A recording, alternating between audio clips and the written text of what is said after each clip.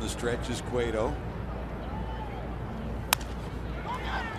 Down the first baseline. Long run, Negron. Can he get there? Yes, he does. Good job, Negron. And they snuff out finally Abreu. Well, that's what you do when you put a, a utility infielder to pick up at first base when your regular guy's not available.